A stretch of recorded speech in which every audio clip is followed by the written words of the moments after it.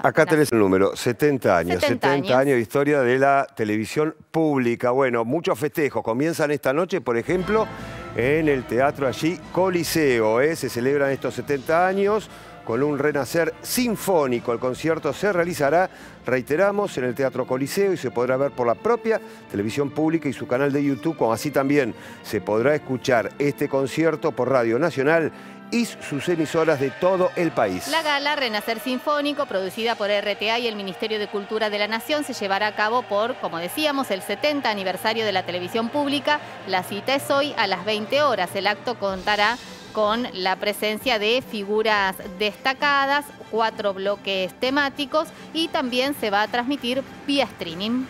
Los festejos continúan ¿eh? y nos vamos ya al día domingo, es decir, pasado mañana, este próximo 17 de octubre, también a las 20 horas, se celebrará el cumpleaños 70 de nuestro canal con un concierto especial que será transmitido en vivo desde el Estudio 1 con la dirección nada más y nada menos que Delito Vitale y la participación de varios artistas se recorrerá la historia del canal a través de las canciones emblemáticas de las últimas siete décadas. Figuras destacadas como Hilda Lizarazu, Sandra Mianovich, Javier Malosetti, Marcela Morelo y Juan Carlos Baglietto, también Leo García y Mavi Díaz. Además, el canal estrenará el primer capítulo de la serie documental Aire, una historia de la televisión argentina y los micros de animación Espíritu Pionero. Pausa. Vamos.